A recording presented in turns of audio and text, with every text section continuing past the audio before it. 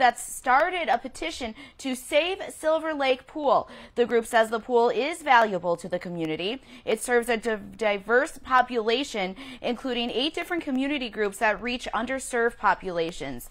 Mayo Clinic Dr. Michael Joyner is helping to lead the effort. His first job was actually as a lifeguard at his local pool growing up. He does still put that on his resume also.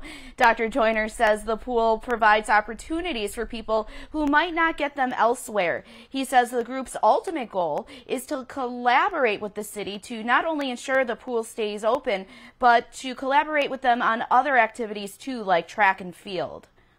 Whether it's running, uh, uh, aquatics, anything, swimming, uh, other sports where we try to make things more inclusive and reduce barriers for participation and develop a vibrant plan going forward so that that you know this medical mecca can also be the healthiest city in the world in terms of recreational opportunities for all